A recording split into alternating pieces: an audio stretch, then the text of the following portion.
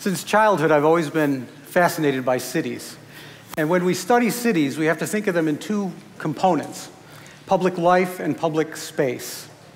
Public space is kind of the scaffolding, the form of a community, of a form of a city. Public life is the living, breathing community with all its hopes and dreams, changing with time and generations. And since uh, cities first appeared on the planet about 10,000 years ago, these two aspects have interrelated with one another very intimately. The, the community sort of formed the structure of the city, and the city facilitated the life of the community. All the way through history until about 200 years ago. The first half of the 19th century saw major changes in technology that created the Industrial Revolution. Machinery was invented, fossil fuels were mined, factories were built in many cities across the world. And this changed the structure of cities. And large numbers of workers migrated to cities, swelling populations of cities from perhaps tens of thousands of people to hundreds of thousands and even millions. So the form and structure of the city changed. And for the first time, the structure was built to facilitate large scale manufacture of industrial goods and to house large numbers of people in close proximity to their places of work. And so we had the result of those, which are the pollution and congestion that we had in 19th century uh, industrial society. Think of Charles Dickens, for example. And then in the mid 20th century, technological changes occurred that allowed us to escape the congestion and pollution. So we have the industrial city, and we had the, the, the, the congestion and pollution and squalor of an industrial city, and then we escaped. And we escaped into the suburbs, and many of the cities hollowed out, and now we have suburban life. And what does the structure tell us today? The structure no longer, still no longer supports public life. The structure supports private life. We're isolated in our automobiles, these little capsules that we have. And even at home, we have all the modern conveniences in these houses, and they're like bunkers. We're isolated in these bunkers. And this is the way millions of people live in this country today. And this is why these millions of people are hungry for community, because the interaction is no longer there. We no longer have that function. So uh, today, approximately 80% of young people graduating from college are choosing to live in an urban lifestyle. And thankfully, we have innovators uh, that have studied this from the late 1960s and actually know how to create uh, cities that will again foster that community life, foster that connection between people. This is, a, this is in Brighton, England, and uh, this is a street in, in Brighton that uh, is for both pedestrians and automobiles. And they changed this in, in 2006. And this is what that same street looks like today. A 62% increase in pedestrian traffic, a 600% increase in stationary activity. And this community life is what we have been striving for. It's uh, what older people remember. And what the old people remember, the young people are searching for. So we have an opportunity today to reinvent our cities. Within the last decade, there have been a tremendous number of studies on human happiness and well being. And uh, it turns out that there are several factors that go into longevity, freedom from disease, general happiness, you know, and, and, and they're like diet and exercise and pre-genetic disposition and, and all of that. But the single most telling factor in human health is our connection with other people, our connection with the community around us, the closeness of familiar faces, people who care about us, and people who we care about.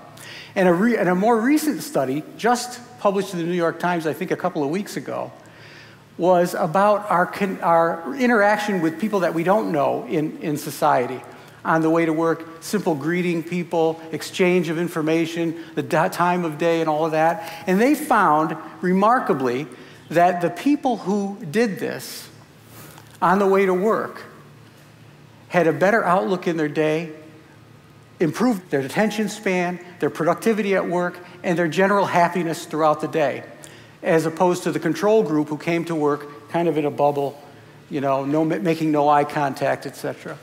So this shows you the importance of this connectivity. The interesting thing about this is that when we go back in history to pre industrial civilization, the ancients knew this intuitively. In ancient Greece, the size of an agora could not be any larger than the distance that would enable a person to recognize another individual from the other side. And the proportion of buildings strive for the ideal, and everything was to enhance the human form and to uh, foster the connectivity of the community. When the Romans conquered a territory, the first thing they would do is build a city from the ground up, complete with aqueducts, theater, public baths, temples, libraries, and uh, they would generally build a city for 50,000 people the ideal size city. And when it got to be too large, they would build another city in that territory. Because 50,000 people, where there were enough people to support the elements of civilization, because the city was the repository of civilization. And yet it was small enough that it would be full of familiar faces for people. So we're learning this today, which uh, sort of brings me to the idea of the micropolis, the ideal size community today between 10,000 and 100,000 people with those same attributes. It has a wider world in it, thousands of people that you don't know. And yet it has the familiarity to be affirming and engaging. There are hundreds of these cities in this category throughout the country that are waiting to be revitalized. Now we come to my favorite subject, Gloversville. This is a picture of downtown Gloversville. And in 2017, we are about to embark on our plans, developing our strategy for a complete urban revitalization of our city. And the, the, one of the important things about this is that the area around the downtown is as, as at least as important as the downtown itself. And the reason for this is that the area around it is, has to be developed into a very diverse and densely populated residential area, and it has to have a variety of housing. So, this is the Burr Street neighborhood. And like many cities, the area that forms the donut around the downtown is the most deteriorated area. And, and because it's the most deteriorated, it has the most potential. So we have to redevelop those areas and we have to make, uh, create pedestrian corridors between these areas and the downtown itself. Very important because the walkable city is the, the, the, the high water mark of, of urban development today. In the downtown, we have to make these public spaces give us an opportunity for people to come together. So we know how to do this because there have been so many studies on environment. So this is the Four Corners, developed into a versatile public space that can be used for parking in the daytime and uh, events in the evening. And then this area in front of the old high school, which is about to be redeveloped, and the high school is going to be rebuilt, or actually torn down, and another building built, which will be senior housing. That could be a very inviting Plaza. We have the corridor that goes to the farmer's market to the, to the west of Main Street. And we have the actual market square itself, the, where the farmer's market is to the west of Main Street, will be redeveloped to look like this. This is a, an example of one of those pedestrian walkways that would uh, come to the center. And of course, this is the corner of that parking lot, very little used, should become a skateboard park. The idea is creating something that will be designed based on current research, based on all of these volumes of urban planning research that we've done, that will be designed to attract people toward the center. Upper stories being developed into live workspaces. As a child, I grew up on McNabb Avenue at the west end of, of Gloversville.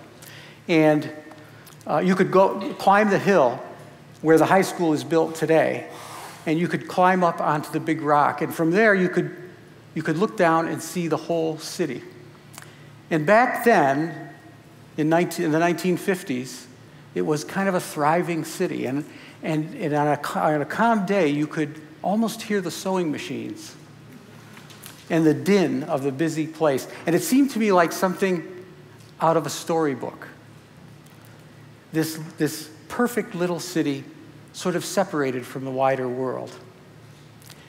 Fast forward 60 years, and we are all excited to be in a position now with the wherewithal and the technical knowledge and the ability to perhaps make it better than it's ever been before.